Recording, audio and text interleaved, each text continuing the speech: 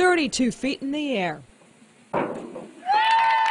That's 8 Sports anchor Natalie Kalibat diving into the water. When you sent me the videos, I was so impressed. Oh my gosh, going back and watching that, I'm, I'm like, I don't know how I did that. It was crazy. It was scary.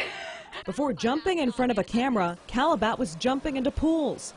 Hard work earned her a scholarship and a spot on the swim and dive team at the University of Southern California. For four years, it was the same routine. Well, I would have two day practices. So starting bright and early in the morning, wet hair, going to class, coming back to practice, getting wet again, then going back to class. That strenuous schedule helped her win the 2012 United States Olympic trials for synchronized diving. Her team at USC also won its first ever Pac 12 championship. It really was a full time job. Her job now, reporting top stories in the sports world. Kalibat seeing herself in the student athletes she's interviewed, many whose careers are now on hold due to the pandemic. What are some of the feelings that you think some of the other athletes, college athletes, are feeling at this point? I think they're feeling a lot of anxiety, and I think it's a time where some athletes may feel lost. You know, with COVID, kind of dampening sports, you know, putting them to a hold and also interfering with college athletes, NCAA credits, and